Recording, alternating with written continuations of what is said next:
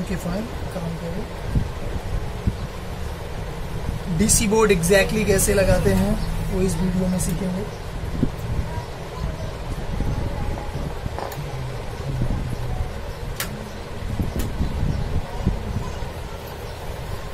ये holder SIP जो रहता है, यहाँ ये प्रॉपर बैठना चाहिए।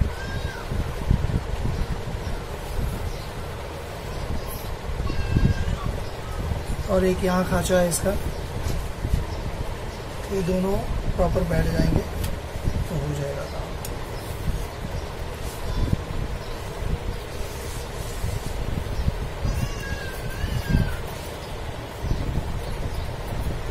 उसके बाद इसके सारे स्क्रू लगा देने का।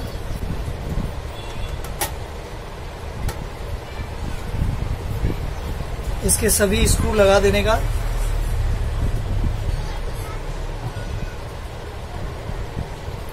इसके बाद अभी अगर मशीन में इसे लगाना है तो किस तरह लगाने का वो मैं दिखाता हूँ। अगर ये देखिए, ये डीसी बोर्ड अभी मशीन में मैं लगाता हूँ। इसको खोलने के लिए आप इसका आठ स्क्रू बाहर निकाल दोगे ये बोर्ड इस मेटल पेड से बाहर हो जाएगा।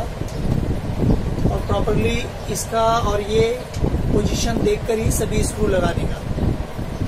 सबसे पहले लगाने के लिए अगर देखेंगे तो वायर साइड में कर लेने का, ठीक है? इस चीज़ को ऐसे पोजीशन में रख देने का पहले। एक साइड इंसर्ट करने का, उसके बाद इधर से सारे वायर बाहर की तरफ़ ले लेने का। क्योंकि कोई भी वायर अंदर ना रहे।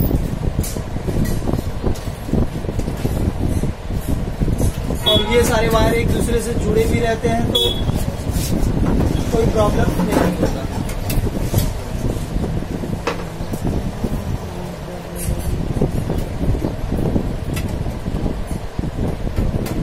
उसके बाद इधर एक खाचा बना रहता है, नीचे तरफ़। उसमें खांचे में इसको एक बार सेट कर देने का।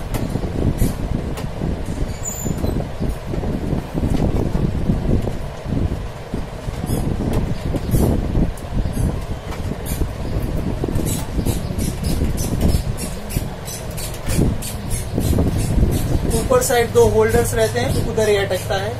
अटकने के बाद एक पीली ऐसा अब इसके बाद इस कनेक्शन को इस कनेक्शन के साथ प्रॉपर अटैच करना। पहले इसको पीछे ऐसे लीजिए, उसके बाद इसके कनेक्शन को देखिए। जब एक दूसरे के साथ प्रॉपर बैठ जाए, इनको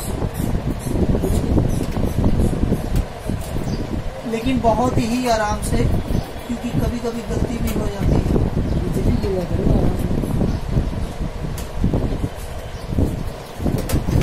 एक मिनट मुझे दिखाई नहीं दे ओके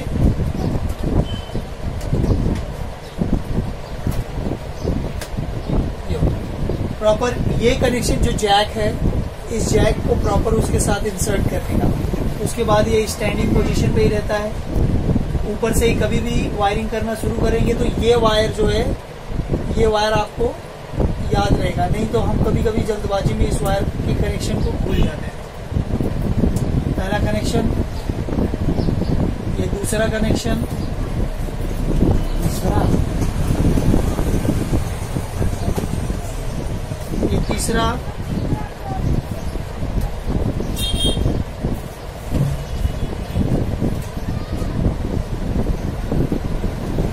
ये सबका साइज़ अलग अलग होने के कारण आपको इसे लगाने में कोई समस्या नहीं आती हाँ?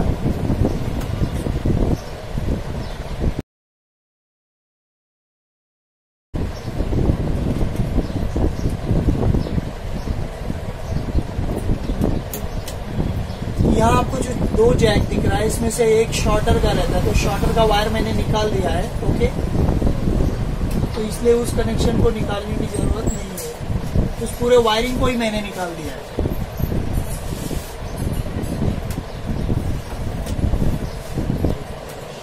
एक बार प्रॉपर पूरा कनेक्शन चेक कर ले। अभी नीचे ये है हीटर यूनिट का कनेक्शन ये भी उसके सेंसर से रिलेटेड है।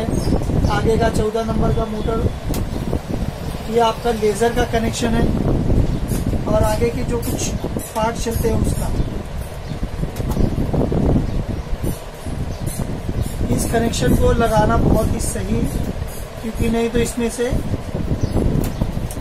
कभी भी आपको एरर कोड आता है लेजर का एरर कोड तो ये वायर और ये, यही दो इनको निकालने का, ये दो और वापस से इनको लगाने का।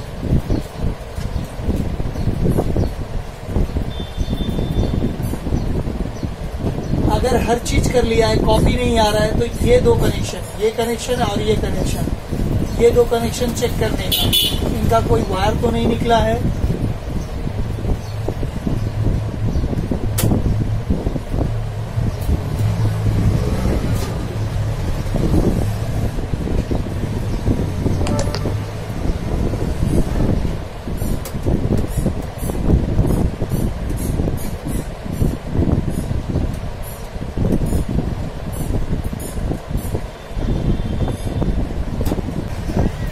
यहाँ एक स्क्रू दो, तीन और नीचे एक चार स्क्रू लगता है।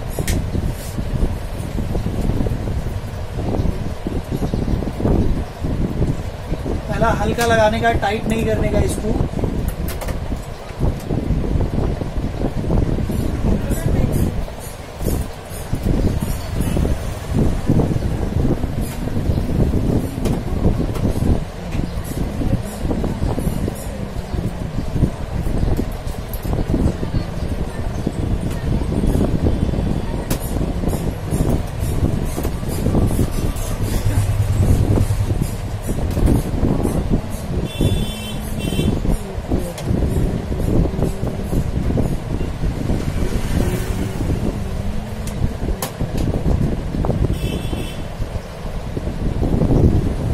चालू कीजिए। काका जी मशीन चालू कर। खुश हो गया? वीडियो खुश ओके फाइन चालू करो मशीन।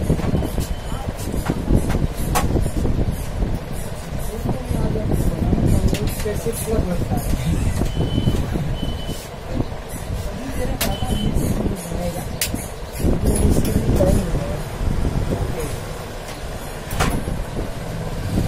कहीं कहीं फंसता हूँ अलग पूरी तरीके से सीखो सीखो अच्छे से सीखो ओके।